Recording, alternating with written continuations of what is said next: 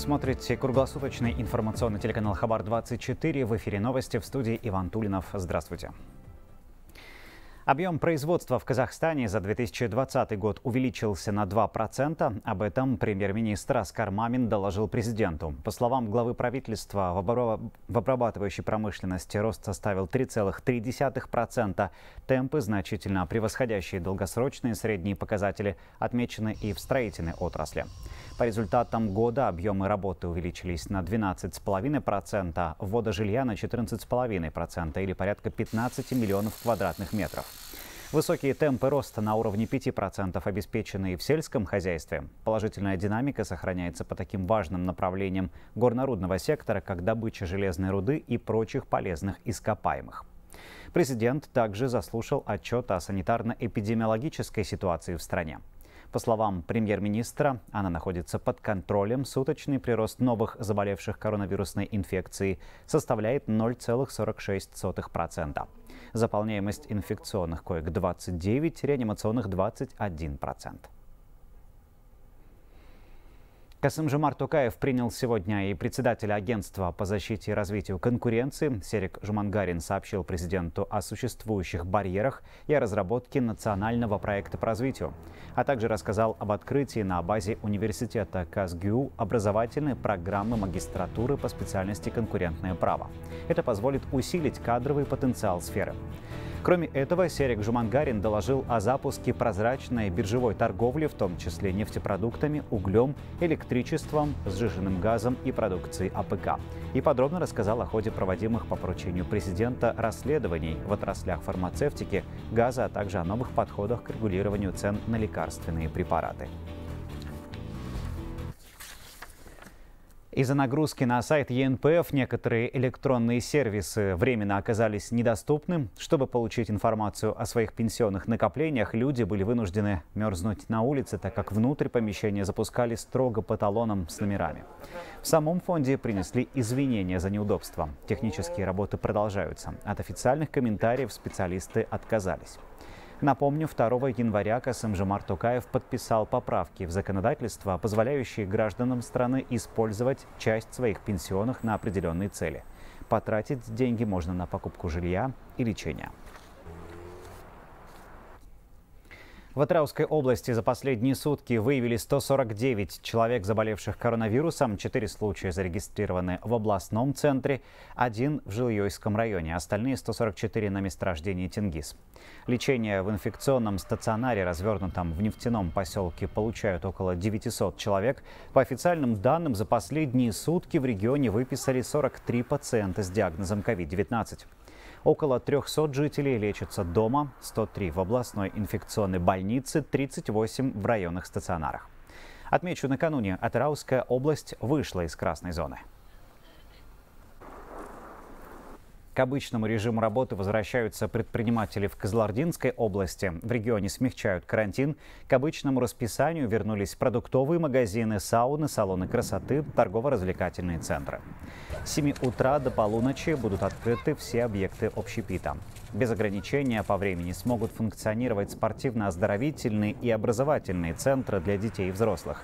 Однако по-прежнему сохраняется запрет на проведение семейных торжеств, выставок, форумов и конференций.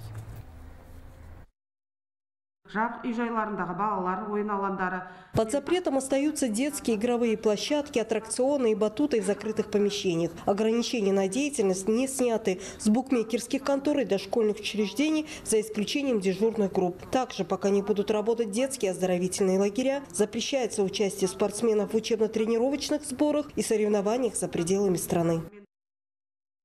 Сильные морозы уже неделю держатся на востоке Казахстана. Столбики термометров опустились до минус 43 градусов. За пять дней Нового года в больницу с обморожением поступили 14 человек. Подробности у наших корреспондентов. Ехал с Каменогорска с пассажирами в город Семей и в населенном пункте возле деревни Пулак сломалась машина.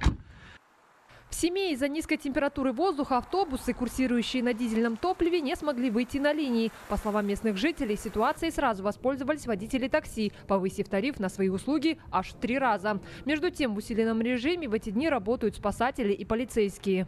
Выручили, помогли мне. Ехал со стороны Абая, так как машина сломалась у меня. Вот. Ребята довезли. Спасибо огромное. Личный состав гарнизонного управления полиции города Семей переведен на усиленный вариант несения службы. На трассах республиканского значения была оказана помощь пяти водителям, которых доставили до города и оказали нужную помощь. А в Усть-Каменогорске за последние сутки госпитализированы десятки людей с обморожениями. Многие из них – лица без определенного места жительства. По словам медиков, за помощью обратились и те, кто в состоянии алкогольного опьянения долгое время находились на морозе, отмечая новогодний праздник. Двум пациентам пришлось ампутировать конечности. Увеличилось количество поступающих с общим переохлаждением, замерзанием. Люди страдают люди действительно страдают. Чаще всего это на фоне этого употребления алкоголя, очень идет быстрая теплопотеря, человек очень быстро переохлаждается, тем более если он упал, встать не может. А в Павлодаре обморожение получили 16 человек, пятеро из них дети. Все пострадавшие находятся в больнице и получают лечение. Одному пациенту пришлось ампутировать стопу. Большей частью люди, получившие отморожение, находятся дома и как бы надеясь, когда спрашиваешь, говорят, думали, что само пройдет. И чтобы этого не было, хотелось бы всех предупредить, что лечить намного эффективнее именно в первые сутки, хотя бы в первые сутки. Именно вот эти последствия холодовой травмы э, лечить надо ранее, именно консервативным лечением. То, что мы делаем операция, ампутация и так далее, это уже когда крайний случай, когда уже мы ничего э, консервативно не можем делать. Медики, полицейские и спасатели настоятельно рекомендуют жителям области реже выходить на улицу и не отпускать на длительные прогулки маленьких детей, а также не отправляться в дальние поездки без особой необходимости. По прогнозам синоптиков, морозы продлятся до конца недели. Асим Утешева, Сабина Рахимбай, Олжас Кирейхан, Медет Умирханов, Хабар 24. Восемь человек погибли, 13 в реанимации. Статистику минувших выходных озвучили карагандинские врачи. Различные травмы получили больше тысячи жителей региона. В больнице у них диагностировали переломы, алкогольное отравление и ожоги. Последние, по данным медиков, получены в момент запуска фейерверков. Еще несколько подростков получили травмы глаза. Более 20 жителей региона обратились в больницы с обморожениями. Четверо готовятся к ампутации. В основном это отморожение э, в результате злоупотребления алкогольных напитков, когда человек длительное время остается без сознания на улице, травмы различного рода и падения с высоты, и отморожения, и э, ожоги также люди получают э, в результате злоупотребления алкогольными напитками. Поэтому это, конечно, не злоупотреблять э, алкоголем. Морозы и снегопады синоптики прогнозируют в Казахстане в ближайшие дни. Штормовое предупреждение объявлено в пяти областях. Сильный мороз до минус 40 градусов сохранится в Восточном Казахстане. Там ограничили движение по всем направлениям для пригородных автобусов и для автотранспорта на дистопливе. Туман местами накроет южные области республики. Сильный ветер прогнозируют на севере страны. Порывы будут достигать 20 метров в секунду. В некоторых областях ожидается метель, сообщили в Казгидромете. В Алматинской области из-за ухудшения погодных условий активизировали работу спасатели.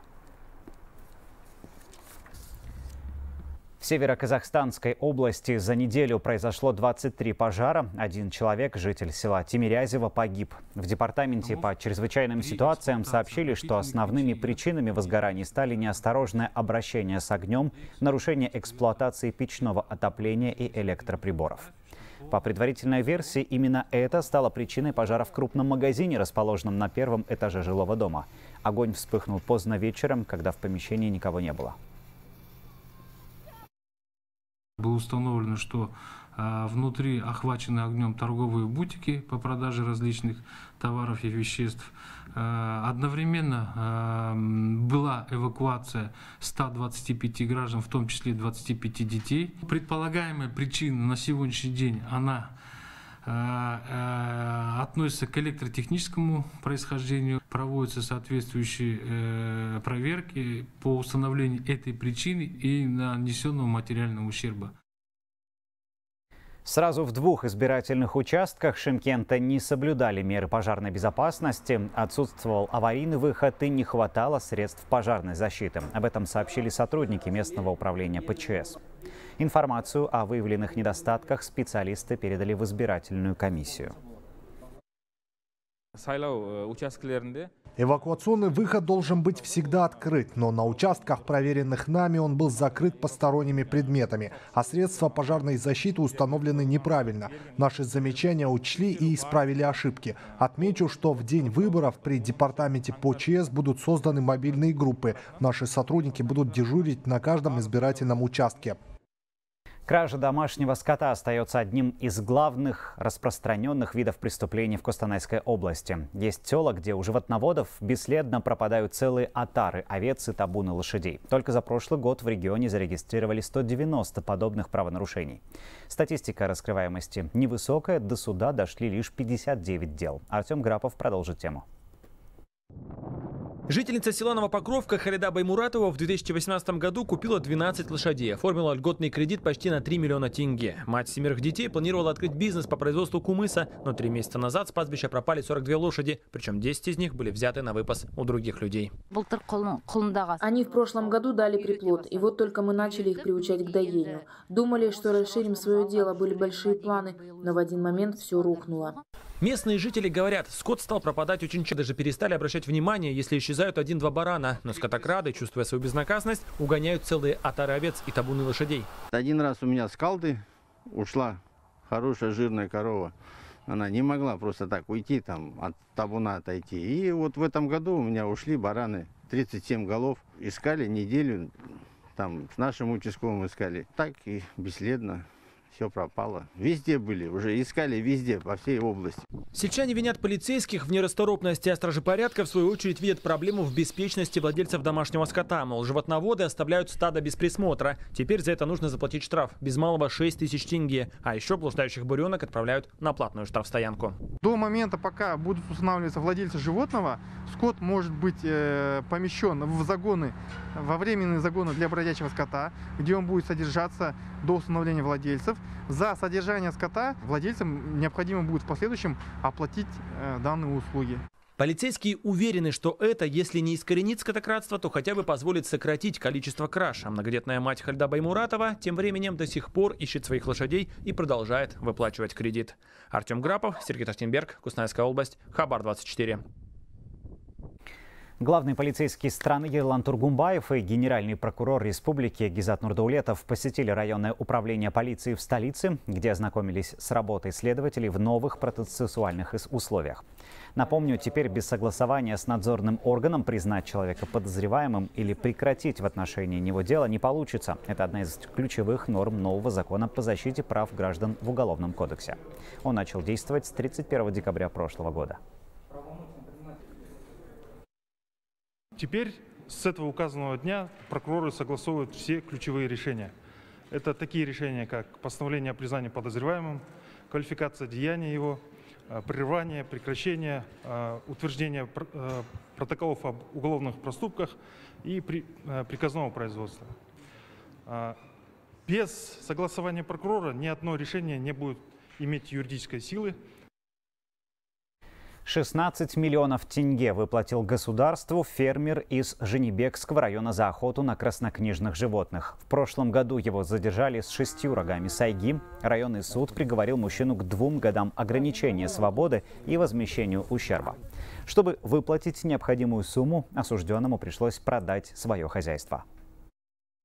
С его слов он продал весь свой скот – и оплатил этот ущерб. В настоящее время в связи э, подачи его заявления в суд э, о досрочном освобождении он был снят с учета службы пробации ДУИС ЗКО. Ему очень материально обошлось тяжело и в дальнейшем э, сам э, его мнение не переступать законы. Данный факт возмещения ущерба в течение короткого времени по Западно-Казахстанской области это у нас первый случай. Первый случай. Рыбу необычного вида и размера продавали на одной из алматинских улиц. Факты нелегальной реализации выявили во время рейда. Сотрудники территориальной инспекции полиции мегаполиса конфисковали более одной тонны рыбы. Никаких документов, объясняющих ее происхождение у нарушителей не было. Специалисты подозревают, что рыбу выловили в городском накопителе сточных вод Сорбулак. Подробности у нашего корреспондента Григория Беденко. Плановые рейды по пресечению незаконного провоза, хранения и продажи рыбных ресурсов в Алматы проводятся регулярно. Но на этот раз оперативники были просто поражены увиденным. В районе улицы Северное кольцо прямо из фургона продавали крайне необычную на вид рыбу породы толстолобик. Особи были очень крупного размера и, кроме того, строение их тела несколько отличалось от тех экземпляров, которые обычно можно встретить в магазинах или на рынках. На момент задержания данные граждане не смогли пояснить, с какого водоема добыта данная рыба, так как у них отсутствовали документы. По их пояснению, они закупили данную рыбу у других физлиц для дальнейшей реализации. Понятно, что рыба неестественного вида может обитать только в тех водоемах, условия в которых резко отличаются от других пресноводных озер Казахстана. В Алматы таким водоемом вполне может быть накопитель сточных вод Сарбулак. Его размер огромный. Длина 35 километров, ширина 15, глубина 22 метра, а площадь зеркала 58 квадратных километров. Данный водоем не входит в перечень а, водоемов республиканского, международного и местного значения, в связи с чем рыболовство на данном водоеме запрещено. Разговор о том, что на Сарбулаке незаконно ловят рыбу, а потом продают ее в Алматы, ходит уже давно. Причем злоумышленники делают это практически открыто. На этом снимке, сделанном с борта вертолета в сентябре прошлого года, отчетливо видны сразу 8 рыбацких лодок. И это при том, что де-факто сточное озеро довольно хорошо охраняется.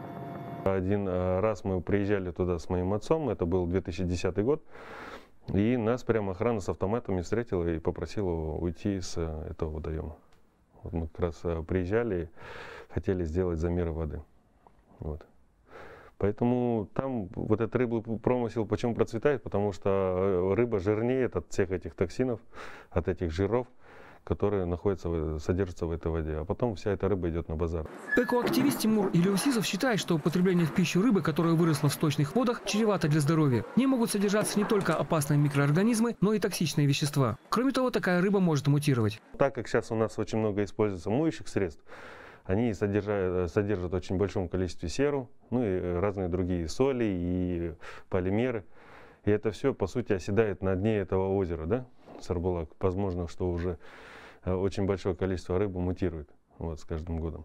Поэтому это очень опасно. В настоящее время водоем находится под контролем государственного предприятия «Алматы-Су». Оно отвечает за водоснабжение и канализацию мегаполиса. Однако последние исследования, связанные с экологией водоема, по словам Тимура Илюсизова, проводились здесь 34 года назад. Поэтому, считает экоактивист, городским властям необходимо уже в ближайшее время организовать на Сарбулаке серьезный мониторинг. Что же касается результатов рейда, то на нелегальных продавцов рыбы завели административное дело. В общей сложности теринспекция конфисковала более одной тонны рыбы. По предварительным подсчетам ущерб оценивается оценивается почти в 6 миллионов тенге. Григорий Беденко, Сержан Жумабаев, Абен Нарынбаев, Алматы, Хабар, 24. Больше 150 миллиардов тенге инвестируют в развитие приграничных сел Восточного Казахстана. Для недопущения оттока кадров в сельской местности разворачивают масштабные инфраструктурные проекты. Для многодетных семей возводят свыше 200 домов. В населенных пунктах Курчум и Урджар за счет строительства объектов культуры и спорта рассчитывают обеспечить для досуг для 26 тысяч сельчан. В частности, в Курчумском районе открыли первый бассейн. Новые бесплатные секции начнут работать после снятия карантинных ограничений. Когда я начинала работать, у нас какой-то был маленький спортзал. А теперь посмотрите, у нас есть и эти спортзалы. У нас есть и такой отличный стадион. А теперь такой нам построили бассейн. Это, не знаю, это для нас очень большая радость. И дети рады, и взрослые. В городе Кинтау Туркестанской области открылась новая поликлиника. В ней смогут принимать до 500 пациентов. Медцентр оснащен техникой. В нем функционирует амбулатория, отделение диагностики и неотложной помощи. Строительство клиники обошлось в 1 миллиард тенге. Обслуживать здесь будут не только жители Кинтау, но и близлежащих сел.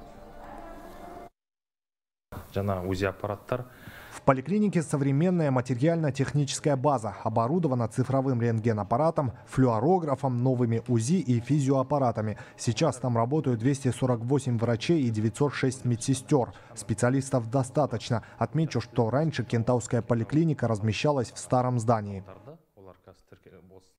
Статью президента «Независимость дороже всего», опубликованную в газете «Егимен Казахстан», обсудили сегодня в Евразийском университете и в Казахстанском институте стратегических исследований. Несмотря на то, что поделиться мнением собрались специалисты разного профиля, их выводы свелись к единому знаменателю. В статье дается ответ, как мы будем строить нашу систему, государственную систему дальше. как будем развивать нашу государственность. А, я хочу сказать, что президент говорит, что самая главная наша а, задача – это построить справедливое общество и эффективное государство. Вот это сейчас очень важно.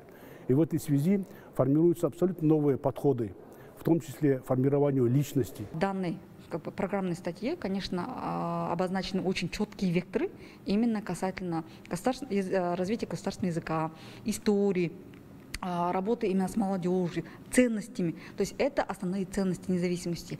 И здесь, конечно, а, должна быть очень проделана очень большая, огромная идеологическая содержательная работа. К этой минуте все. До встречи в эфире.